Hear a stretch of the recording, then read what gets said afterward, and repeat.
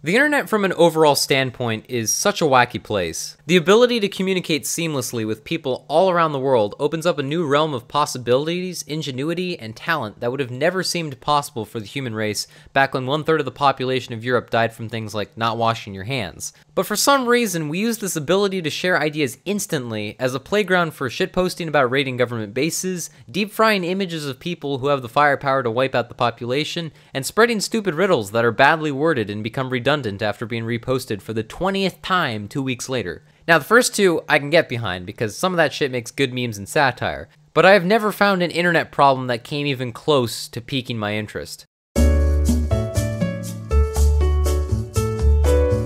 Flashback to a couple days ago. Late July, people were talking about Stranger Things, the number neighbor thing was just starting to emerge, and you couldn't go anywhere without someone saying Creeper, aw man, and you still can't go anywhere without hearing it. And then out of nowhere, for no goddamn reason, this math problem shows up in social media feeds, and the internet has a total mental breakdown. Now, this isn't the first time that the internet has been crippled by some stupid phenomenon that drives people to considerable arguments for absolutely no reason, but this isn't even the first time some parentheses related math problem has gone viral.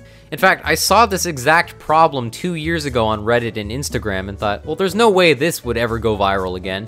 But then again, Revenge by CaptainSparklez from eight years ago is taking off again, so I guess this stupid mindfuck was along for the ride. The reason a math problem like this can go viral is because it's based off of elementary level math skills that everyone remembers, but with some twist that is there for no reason. You spot the operations in the problem and say, oh, that's just PEMDAS, and it seems simple enough, but that's when shit hits the fan. The first incorrect step is to solve the operation in parentheses due to the p at the start of PEMDAS, which by the way stands for parentheses, exponents, multiplication and division, and addition and subtraction. You can remember this with a simple phrase like, please excuse my dear Aunt Sally, or please end my depression and suffering, just as long as you remember that the p goes first. As we all know from the master intuition and reason of our elementary school brains, 2 plus 2 is equal to 4, which is coincidentally the same for 2 times 2 which is coincidentally the same for 2 to the second power or 2 squared because 2 is just the biggest troll out of any number. It just said, you know what, 4 is composite, 6 is composite, every other even number is composite, so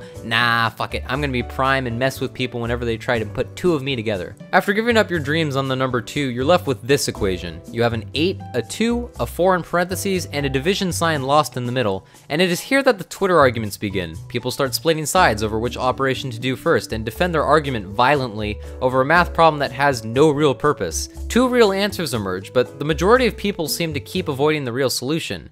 And obviously, that real solution is that this is a stupid problem. No one should ever use this symbol. It's like a plus sign with the top and bottom cut off, or a minus sign with two dots added, or a percent sign that is flipped 45 degrees, and really when you think about it, the symbol is just a fraction with two dots indicating that the two numbers around it are the numerator and denominator. Why not just use a horizontal line or fraction and call it a day? This horrible division symbol thus spawned two possible answers. One of them assigns the parentheses as a multiplication symbol, which is mathematically justifiable, and the solution comes out as 16. The other solution assigns the parentheses as a value attached to the 2 as if it were a variable, as if it was 2x instead of 2 parentheses 4, which is also mathematically justifiable, and this solution outputs 1.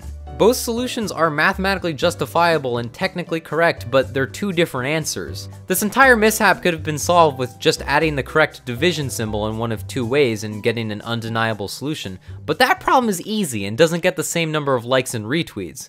Instead, the problem was created with an irrelevant symbol in mathematics designed to make two equally plausible answers, and the internet ate it up, thus spawning the curse of the viral math problem. Alright, you know what? This problem's over. Goodbye. I am moving on. All right, let's see what we got next. Ooh, okay, all right. Now this, this I can get behind.